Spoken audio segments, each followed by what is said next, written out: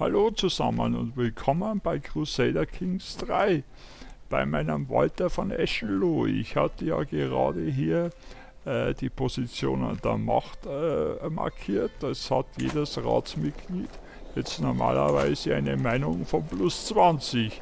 Ja, das schaut doch schon mal recht erfreulich aus.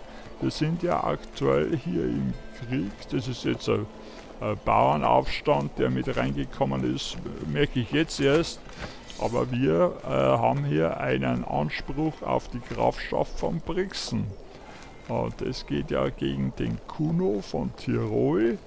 Und wir sind hier gerade hinter der Augsburger äh, Armee her. Und das lasse ich einmal laufen. Muss mal schauen, wie wir die einfangen. Das ist ja Tirol hier oben. Werden wir mal schauen.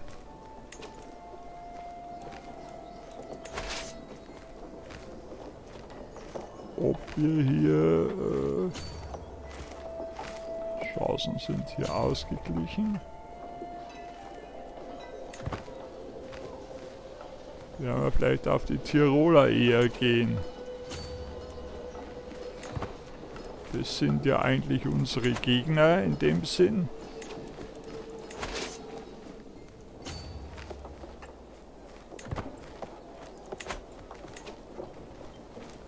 Ja, da will er mithelfen. Das kann er natürlich gern machen. 3, 2, 1.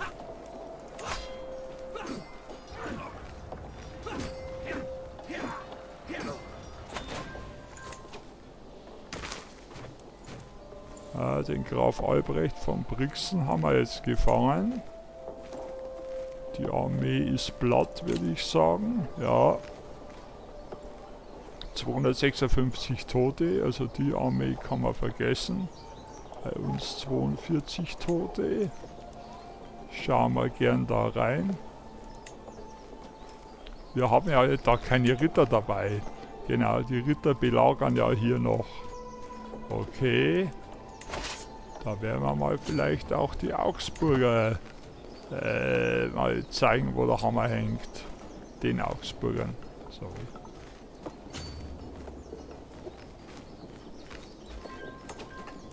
Ah, neuer Ritter. Wer ist das? Kampfgeschick 15, der Ritzer von Wasserburg. Für 20 Gold nehmen wir den gern.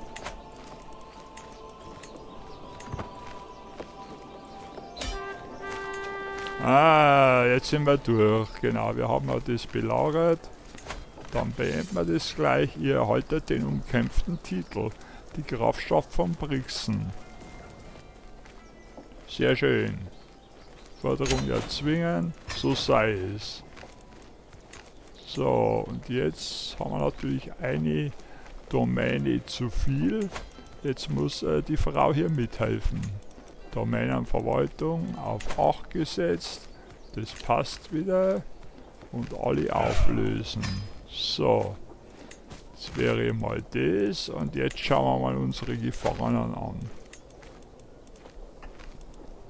Ich habe mir hier eigentlich vorgestellt, ich werde äh, immer Kinder und so weiter eigentlich sofort entlassen.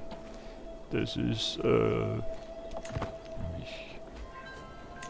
So, jetzt haben wir der Bürgermeister Meinhardt hat die Kontrolle hier abgeschlossen. Also dann muss leider der Knast etwas warten. Dann haben wir das hier voll. Schauen wir mal durch. Eschenlohe 100. Falkenstein 100, Geisenhausen 100, Frontenhausen.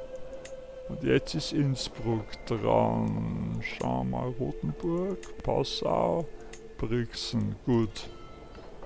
Dann würde ich sagen Innsbruck.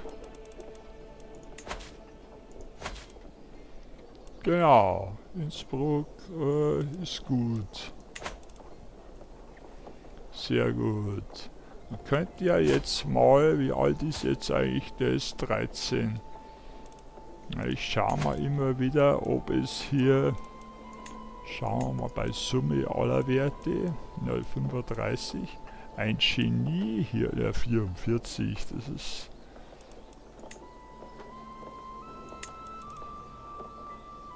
Albino. Intelligent.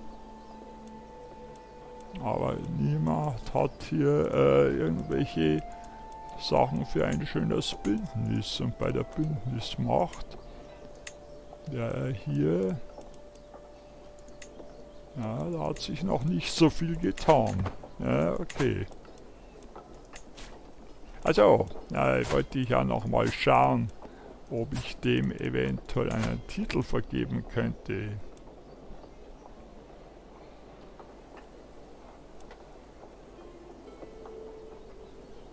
Ja, aber kann eigentlich auch noch warten, würde ich einmal sagen. Zu seinem Alter. Wir müssten eigentlich jetzt nach dem großen Sieg und weil er ja doch ziemlich angespannt ist, mal eventuell ein schönes Festmahl veranstalten.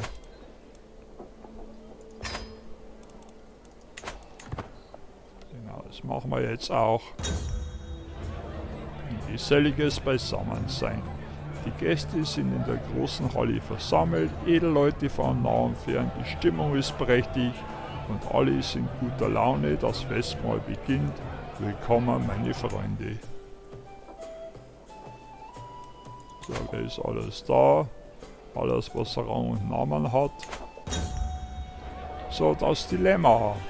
Das Festmahl neigt sich dem Ende zu. Mein prinzipientreuer Vasall Bürgermeister Gundbald und, und, und wir finden uns in einem intensiven Gespräch wieder. Er fragt mich nach meinem zum Thema Handelsrouten. Ja.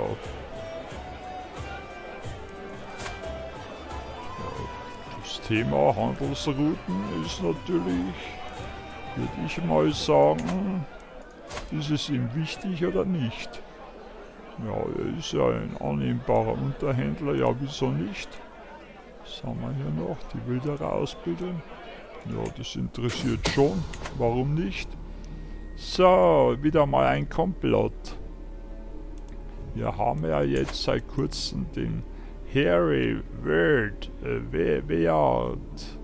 Wo kommt der überhaupt her? Ja, angelsächsisch dachte ich mir. Der heißt dann Word oder so ähnlich. Aber egal wie. Mein Ratspitzel ist mit einer Entdeckung zu mir gekommen. Er ist sich sicher, dass meine eigene Tochter Christine ein Komplott schmiedet. Das Opfer, mein Höfling Rupprecht.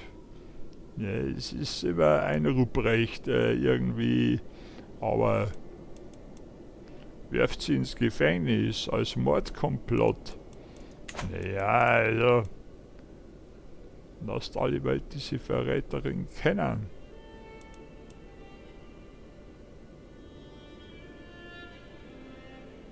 Christine bleibt auf freiem Fuß. Aber sie ist doch eigentlich schlau. Wenn sie schlau ist, dann sollte man eigentlich sowas nicht machen. Nimmt an Festmahl teil und ist 19. Ja, da würde ich mal sagen, hm, schwierig. Da glaube ich, lasse ich jetzt mal Google eine Zufallszahl würfeln, bei mir also 1, 2, 3, eine Zufallszahl zwischen 1 und 3.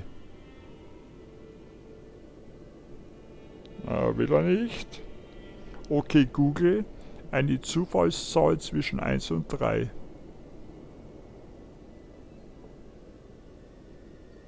Hier ist eine Zufallszahl, 3. Ja, 3. Also, ob das nun stimmt oder nicht, ich werde Christine nicht anklagen. Das lassen wir jetzt mal. Ist auch gut so, würde ich jetzt mal sagen. Festmahl, es kommt zur Katastrophe, ja, ich wusste es. Entschuldigt, der Wein ist schlecht, aber immer ist der Wein schlecht. Also, der Weinhändler sollte noch in der Stadt sein. Ja, das werden wir äh, jetzt mal selber zahlen. Jetzt haben wir das Geld. Glaube ich, beim letzten Festmahl hat man das Geld nicht. Wir zahlen das, kaufen neuen Wein und das Thema ist durch. So, was haben wir hier? Es geht einfach Schlag auf Schlag. Ich komme zu nichts. Festmahl unter meinem Dach. Ich hatte mein Bestes gegeben und dafür gesorgt, dass Herzog Heinrich und Bürgermeister Gundakau möglichst weit getrennt voneinander saßen. Jetzt gehen sie wieder aufeinander los. Das ist ja mein Lehensherr sogar, der Lehensherr. Ist denn der Lehensherr, der ist ja hier dabei anscheinend. Ja, sieht die nicht, also Lehensherr, okay. Und was ist der? Ein Vasall von mir, der Bürgermeister. Ja, dann werden wir den Gundakau hinauswerfen. Ja,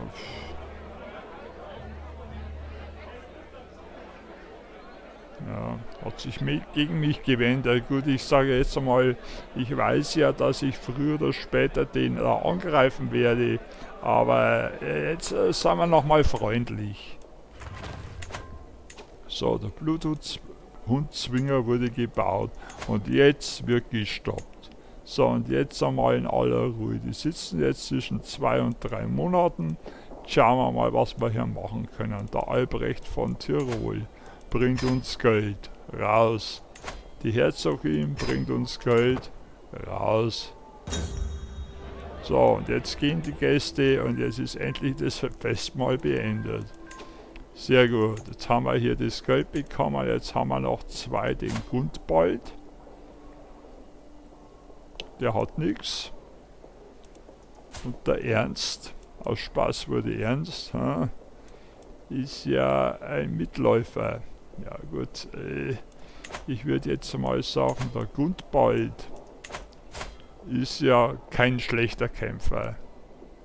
Ein Organisator, ein brillanter Stratege, den holen wir uns als Ritter an Hof, der wird rekrutiert. Er ist katholisch, bayerisch, alles wunderbar.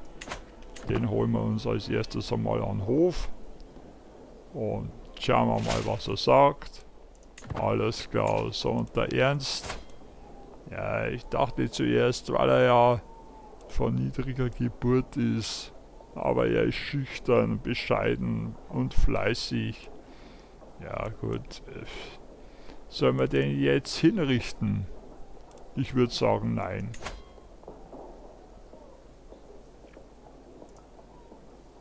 Ja, Druckmittel brauchen wir eigentlich auch keins.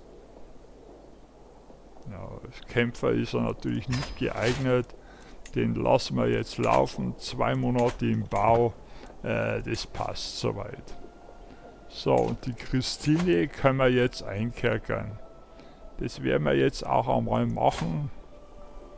ID hier mit ihrem Wortkomplott, wir wollen das nicht. Wir wollen es einfach nicht. Wir wollen das nicht. Die werden wir jetzt mal einen Monat hier mindestens, genau. Entsprechend meiner Befehle wurde Christine jetzt in ihrem Heim festgesetzt. Ich habe einige meiner Wachen angewiesen, dafür zu sorgen, dass sie den Hausarrest einhält. Ja gut, Hausarrest. Hausarrest ist ja eigentlich auch äh, harmlos. Könnt ihr die in den Kerker verlegen. Das würde man auch da nochmal machen. Hausarrest ist nichts.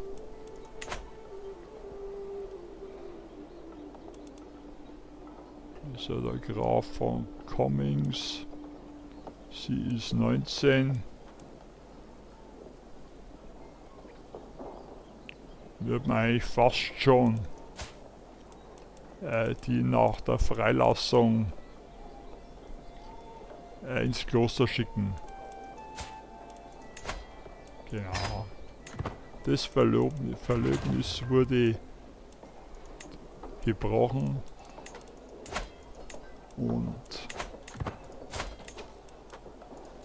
wenn die raus ist,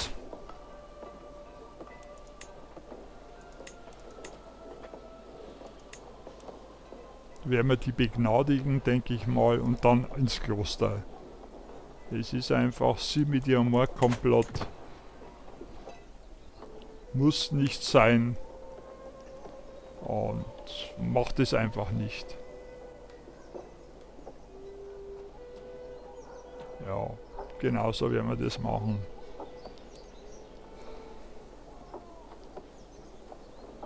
So, wir haben das Jahr 1090, jetzt schon 23 Jahre im äh, Spiel. 23 Jahre ist er schon im Amt. Der Graf Walter hat noch einen Anspruch auf Trent. Gut, der hat natürlich auch etwas mehr äh, Leute. Ich schau mal kurz hier rein, wie es da ausschaut, unser Kriegsvolk. So, der nächste ist meine Einladung gefolgt, der Gallu. Gallu. Aus Sardinien, ja zufällig. Er hat äh, was mitbekommen, als ich da unten war. Ein Flagellant. Er wäre eigentlich... Aber er ist 51. Ja, ich würde sagen, etwas alt. Und hier könnte man eigentlich einmal noch ein paar Bogenkämpfer rekrutieren und gepanzertes Fußvolk. Kann nicht schaden, ja, da haben wir über 3000 Leute, man weiß nicht, was passiert. Äh, das ist schon gut so. So. Ja, aber schaut doch jetzt gut aus. Jetzt haben wir hier das schon. Und wenn wir dann tatsächlich so, Katharina wird erwachsen. Nun, da sie erwachsen wird, ändert meine Ausbildung. Mit der richtigen Anleitung kann sogar ein Kind wie Katharina, die kaum ein natürliches Talent für die Verwaltung zu haben scheint, doch ein echtes Verständnis davon erlangen. Naja, sie ist äh, ein Genie, ein kaufmännisches Genie. Naja, das ist doch, wie schnell sie doch Flügge werden. Unersättlich ist sie, aber mitfühlend, arrogant, okay, aber ein kaufmännischer Genie. Wie schnell sie doch Flügge werden. So, da werden wir jetzt mal einen Mann suchen. Schaut's hier mit Bündnissen aus? Jetzt mal erstmal matrilinear. Dann mal der Altersunterschied, sollte nicht zu hoch sein. Was haben wir hier? Das wäre wahrscheinlich irgendwo England oder so. Äh, Irisch, Irisch ist der. Dann ein Franzose. Schauen wir mal hier einfach nach dem Soldatenanzahl. Ja, das ist dann vielleicht nach allen Werten. Wäre stattlich, der Blodeck. Ein Polarbee. Hm. Ja gut, haben wir eigentlich nicht... Äh, sollte alles kein Thema sein. Gut, Land hat er keins. Aber vielleicht können wir ihm dann irgendwann mal da was geben. So, den stattlichen hat sie verdient. Werden wir jetzt einfach mal versuchen. Ausgezeichnet. So, und jetzt wollte ich ja eigentlich mal hier schauen, was mit dem Herzog da los ist. Gut, hier mit seiner 2200, der ist unserem aber unterlegen. Ich glaube, wir haben über 3000. Dann demnächst 3100. Da hat Sammler wurde gebaut.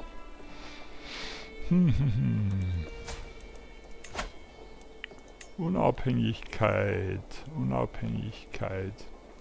Ja, ich weiß ich, sind wir dann Herzog? Oder kann ich jetzt... Ja, da gehört natürlich München mit dazu. Die werden natürlich dann auch nicht begeistert sein. Wenn wir jetzt mal eventuell ja, müsste ja machbar sein. Da wäre doch eigentlich wir dann Herzog. Würde ich einfach mal sagen. Wie auch immer das dann heißt, ob es dann Bayern heißt oder ob es dann am liebsten wäre natürlich, wenn es Eschenlohe he heißen würde. Jahre hat er noch genügend, schätze ich mal. Äh, jetzt kommt der Herzog Heinrich natürlich. ich, es gibt kaum etwas, was ich mehr schätze als die Gesellschaft von Herzog Heinrich. Ja, dann können wir eigentlich hier kaum äh, Ansprüche erklären. Hm. Tja.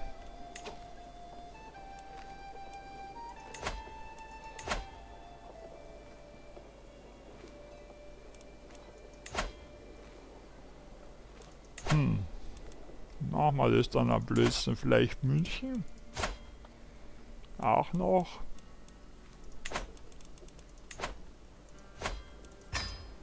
Vielleicht wäre das dann besser. Ja, wenn es schon unser bester Freund ist, äh, ist es schwierig. Also, das, äh,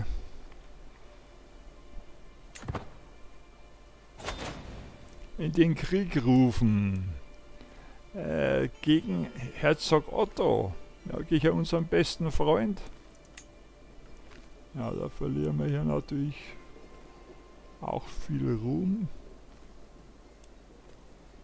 Ja, aber gegen die Tyrannei ist eigentlich, äh, ich wollte ja eigentlich, man vergisst immer alles Mögliche.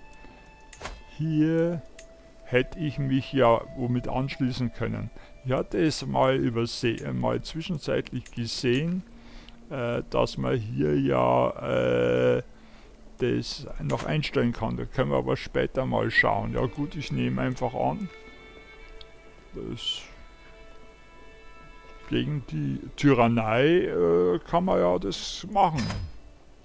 Und stoppe ich gleich mal, denn Blick auf die Uhr verrät ich muss aufhören. Äh, nehme aber natürlich gleich die nächste Folge auf. Ich mache gleich fröhlich weiter, damit möglichst bald dann eine weitere Folge erscheint. Danke euch fürs Zuschauen, wünsche noch einen schönen Tag. Tschüss.